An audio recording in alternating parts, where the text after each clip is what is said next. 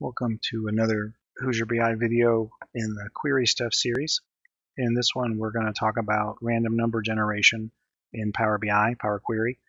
Um, random numbers are, are real handy when you're trying to obviously generate a bunch of numbers real quickly. Um, and when you're, for example, modeling stuff or you're trying to do uh, generate training material or demo material, uh, if you want to check the performance of something, for example, um, and so there's two main functions uh, that are used to generate random numbers. One is number.random, the other one is list.random. And I'm going to show you in this uh, video why I recommend you use list.random. It gives you a little bit more uh, control and consistency in generating random numbers. And then um, also show you an important tip to know if you do decide to use list.random and generate uh, lots of random numbers, uh, to make sure you use list.buffer to not uh, really hurt your performance. Um, if you like uh, these videos, I have a bunch more planned uh, for Power BI, uh, both in the query series um, and more stuff on DAX and visuals, uh, for example. please follow me on Twitter at MahoneyPA or subscribe to the Hoosier BI channel on YouTube. So let's head over to the query editor and start talking about random numbers. Um, I've got some pre-made queries already that I'll show in a minute, uh, but I was just going to start out with a blank query and just start talking about these functions real fast. So if I just do number dot random, it doesn't require any input uh, parameters. I'll get a random number between 0 and 1. And if I sit here and refresh preview, I'll get a different random number, and that works that works well. Um, but where the issue comes in with number.random is say let's make a quick table of data and I'll just generate a list from A to Z and then I'll turn that into a table so that I can add a column to it. And if I just do this and now in my, um, I'll just make a random number column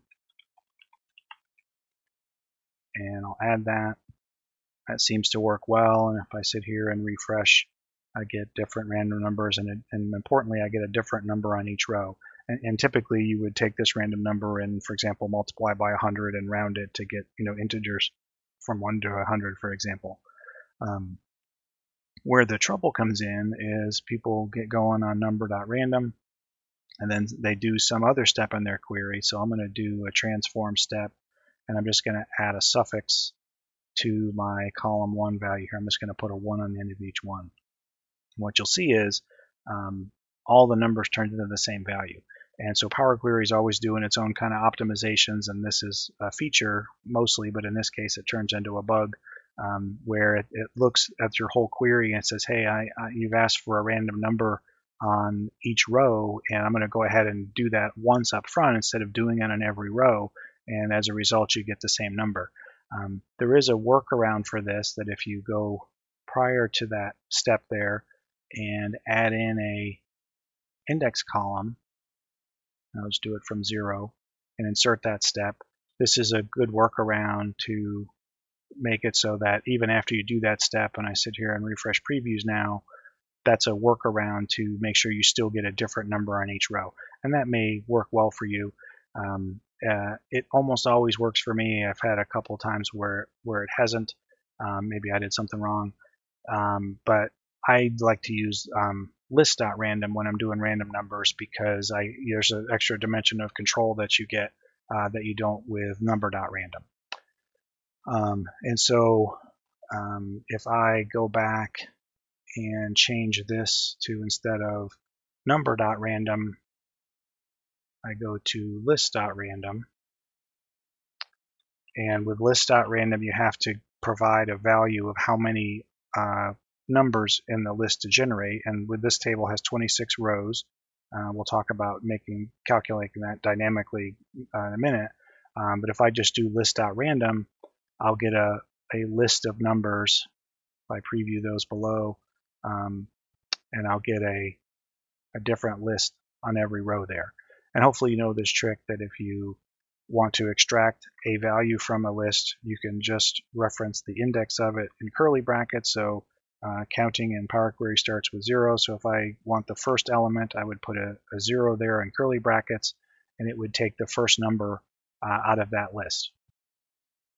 Okay, um, and then if we go though, and if we have the the index column here, um, then we still get a, a, good result here where we have a different number on each row. And if I refresh, okay, so that's all well and good. And um, but this would still suffer. Say I get rid of this index column. Um, this approach still does suffer from the same issue I described before, where it tries to optimize and whatever. Um, and so let's talk about how to uh, get around that. Uh, it turns out with the uh, list.random, there's a second term that's optional, and you can actually provide um, the seed value. And so if I put, say that, and you can put any integer here, positive or negative, and I've tried this out to a billion. Um, the list.random um, it's a it's a pseudo random number generator, and you can provide a seed value, which is the starting value, and then after that, it has an algorithm to generate random numbers from that point. Um, and so, if you give it a a seed value, every time you refresh, you'll actually get the the same list uh, of random numbers um, each time. And so in this case, because on every row I've said I want the uh, list of the first element of a list of 26 random numbers starting with a seed of one, I get the same number on, on each row. Um, and so the tricks you can do to get a different number is either you can, um, like we had before, you can add an index column. And so let's add that index column back, uh, starting from zero the two ways to make sure you get a different number on each row are to use your index number in the formula. And there's two ways you can do it. One is you can use your index value here as the seed value, and because they're integers, that's, this will work. And so now I actually get a different number because I'm actually generating a different list of 26 numbers on each row and I'm just grabbing the first value from it. And so because the different lists are different, they have different starting values, I get a different number um, on each row. So that's one way to do it um, to consistently get that. Um, the other way is to, for example, use a constant value and then use your index value to pull a different number from the list. So in this case, I'm generating the same list of um, 26 numbers, but then I'm pulling out a different number uh, from that list. And so I end up getting a different number.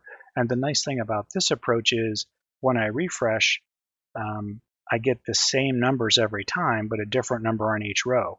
And I like to use this approach because, say, I'm generating training material and I want to um, have uh, people follow along and they maybe need to refresh the data. Instead of getting a whole bunch of new numbers, they actually would get the same numbers every time they refresh, and those numbers would match mine, so that if we write a DAX expression, for example, the numbers would calculate to be the same, um, even though I've gotten the benefit of generating a whole bunch of, of different numbers uh, using this approach. So this is definitely the one I the one I recommend. Um, I've kind of got all these different approaches uh, summarized here. We're not going to need this anymore, so I'm going to delete that. Um, I've, I've made this source data table here because um, I have one more point I want to show, and that's on performance and using the function list.buffer. But before I talk about that, um, all three of these queries use this same table as an input so that if I make this table much bigger, um, they're all still pointing to the table and I can check performance. But this one basically, you know, uses that as the input and I've shown all the all the things I've kind of talked about the variations on the theme where you know if I use no seed right I'll, I'll get a different list on each row. Um, but if I pull out um, the same uh, constant index putting that here I can end up with the same values on each row. Um, if I use a, a constant seed I'll actually get um, the and the same list every single time. So if you look at the first values, they're not changing because I'm using the same seed on every row. Um, and note here I'm using the the row count of the previous step, the source step, to say how many uh, numbers to have in this list of random numbers. Um, uh, and then if I extract the you know the first value out of that thing with a constant seed, not surprisingly, I'd get the same uh, value here. And so if I if I sit here and refresh, those will always be the same. But notice this one here without a seed is is always changing. So again, neither of these is probably the ones you want to use. Um, these ones here are, are probably either this one or this one, where you would have a, a constant seed and then take out the, the variable, uh, take out a different number from the list using the index column uh, value um, in inside the curly brackets to pull it out. And this is the one I, I typically use and recommend. You can do go the other way where you actually generate different lists by putting the using the index here and then taking the first value. You can take any value out, but I just it's simplest just to use the first um, out of that. Um, and again, you notice if you refresh these, right, you'll get the same numbers back in, in every row again, which is useful uh, when you're doing training.